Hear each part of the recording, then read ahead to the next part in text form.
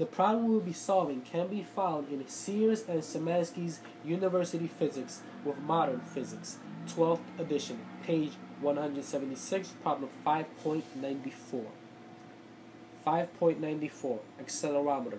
The system shown in figure 5.76 can be used to measure the acceleration of the system. An observer riding on the platform measures the angle theta that the thread supporting the light ball makes with the vertical. There is no friction anywhere. A. How is theta related to the acceleration of the system? B. If m1 equals 250 kilograms and m2 equals 1250 kilograms, what is theta? C. If you can vary m1 and m2, what is the largest angle theta you could achieve? Explain how you need to adjust m1 and m2 to do this. So now let's proceed with part A of the problem. How is theta related to the acceleration of the system? Here I have portion of the system that I drew. And the reason I drew portion of the system is because as the problem says, there is no friction anywhere. This implies the acceleration is the same both for this mass, this mass, this other mass also that's around the pulley, and the ball. These all have the same acceleration because there is no friction anymore. Okay, we will now implement Newton's second law of motion to solve this problem. I have here the ball. And this ball, of course, has a force acting on it, which is the tension of this thread right here, which we're going to draw right now. Okay? We're going to draw it right here. And we're going to denote this tension T. Of course, this thread is making an angle with the vertical, which is this one here, which is theta. We have another force which is acting from the center of gravity down, okay, which is of course the weight of the ball. Okay, you have the little arrow pointing down here, the arrow pointing that way, okay, and this is called the mass of the ball times the acceleration due to gravity, okay. This is the weight of the ball coming from the center of gravity. These are the two forces acting on the ball. Now, if we decompose this tension into its horizontal and vertical components and then choose a coordinate system which will serve as, as our reference guide, we can of course indeed solve this problem. Okay? So notice that these two blue arrows I am drawing, these are the x and y components, okay? I'm going to choose this one to be x, this one to be y, okay? This is my x, this is my y. You can choose your coordinate system how you wish. Now, of course, if this force is being broken up to these components, and the sum of these two forces is equal to this tension, we have to disregard this one, okay? Now, of course, we will have a component of tension in the x and y direction. We will denote those components Tx and Ty. Okay? Since this is the x component, this x right here, this side, this component of tension, is opposite to this angle. Okay? And opposite to an angle, you can remember that's given by the sine.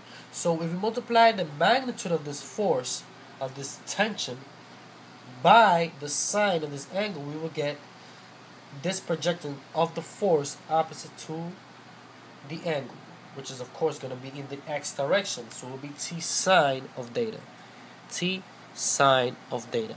That's the tension, the component of tension in the x direction. So the component of tension in the y direction will be multiplying the magnitude t, tension t, by the cosine of the angle. Of course, it's going to give us the adjacent projection to the angle, of course, and this adjacent is parallel to the y-axis, so this will be our y component. T cosine theta, okay? This is just basic trigonometry, which you can review before solving this type of vector problem, okay? So now that we have tx and ty, now we're gonna implement Newton's second law in the x and y direction. We're gonna do the sum of the forces in the x direction, okay? Equals. Okay, now in the x direction, how many forces we have in the x direction? Well, we have this force going to towards the positive x direction. So of course, this will be a t sine theta equals to mass of the ball time the acceleration of the ball. Okay? So now the sum of the forces here in the y direction is equal. If we choose up to be positive and down negative, that means up will be positive. That means t cosine theta will be positive. Let's put it right here. t cosine theta minus, well, this force is directed downward, so it will be negative and it will be mass of the ball times the acceleration due to gravity.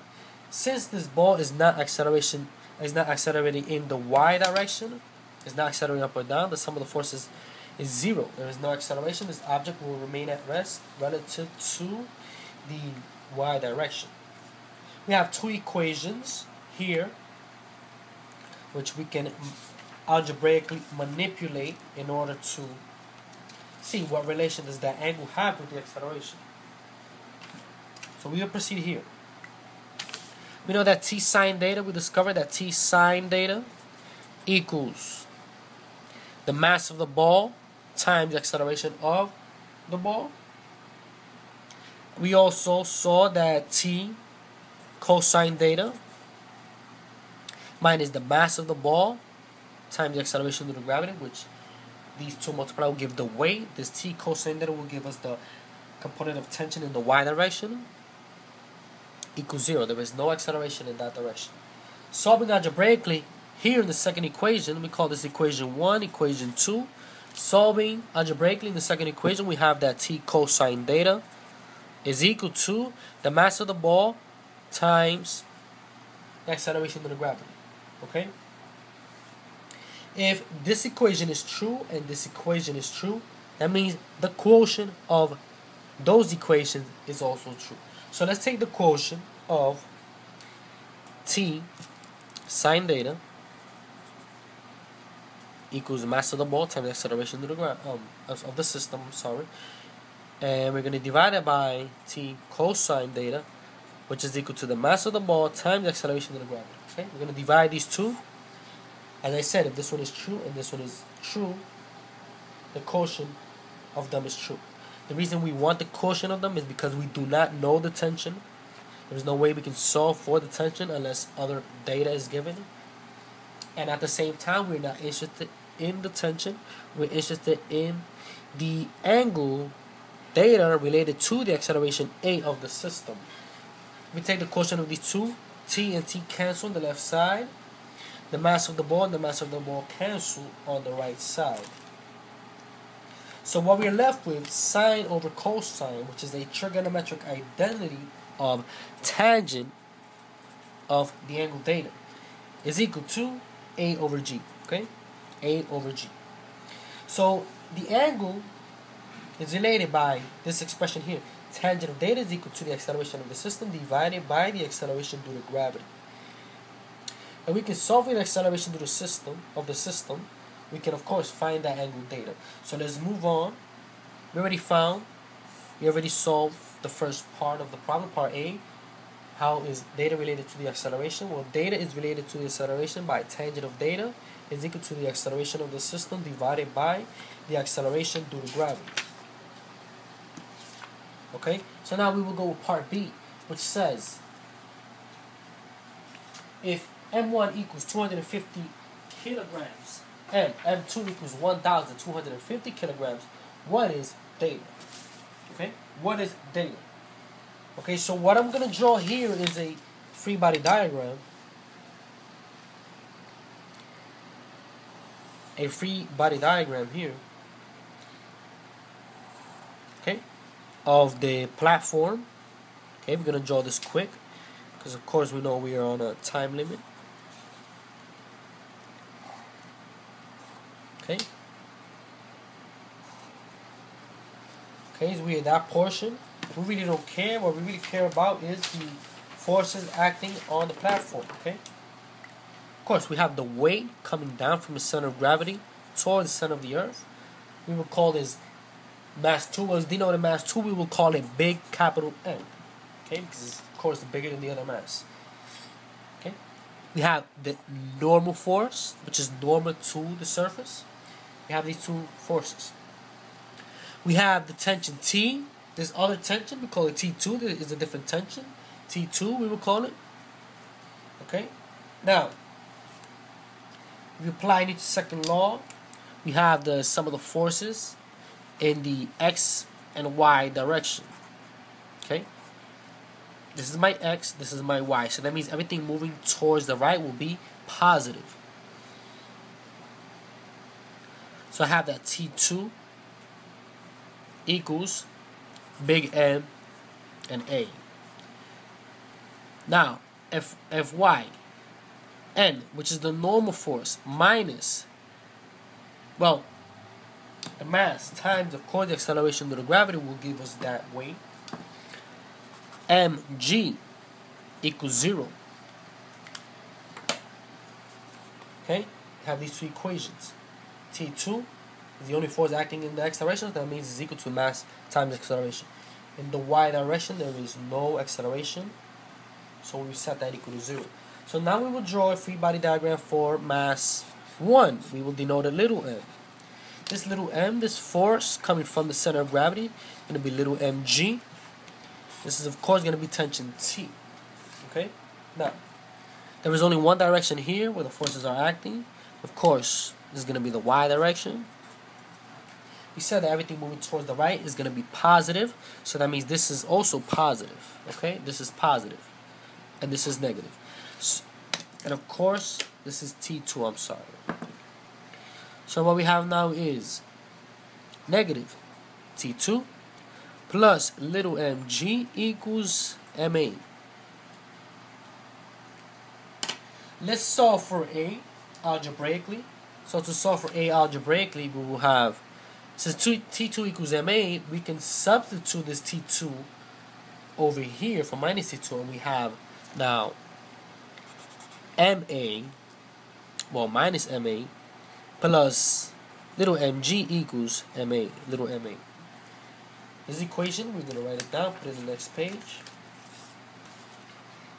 Minus m a plus, sorry, minus ma plus mg equals little ma. Now, I'm going to add both sides big MAs. So I will have on my left side little mg equals little ma plus big MA. On the right side factoring, I have a factorized little m plus big M. On the left side, I have little mg. Solving for a algebraically, I will divide both sides by the sum of m and big M. So I have the acceleration of the system is, of course, mg divided by little m plus m. Okay? And we saw that the tangent of theta, we saw that the tangent of theta, we write it right here, right under it, that the tangent of theta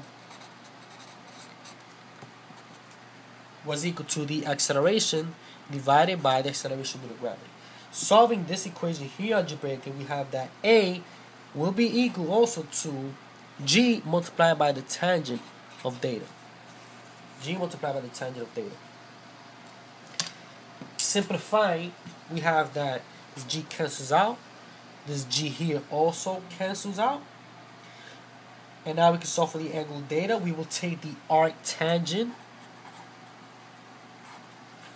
of m We'll take the arctangent of m1 divided by m2 plus m1. Okay? The arctangent of this quantity here will tell you what is that angle theta. And of course, we will proceed with part C in the next video.